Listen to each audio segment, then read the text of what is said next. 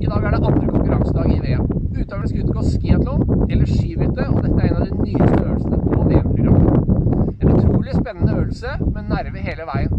Utøverne må være oppmerksomme på fartsvariasjoner og taktisk spill.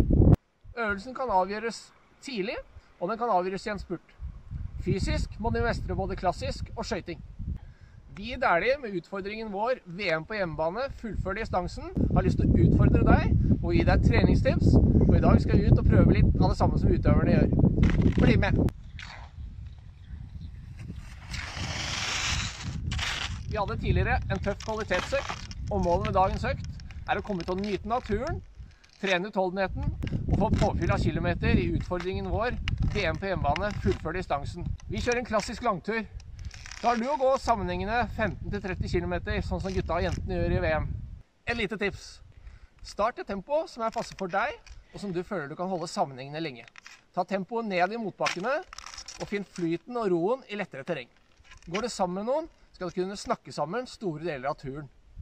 Dette er skikkelig god økt. Jeg håper du lander godt i sofaen i kveld foran VM-sendingene. Vi ses i løypa!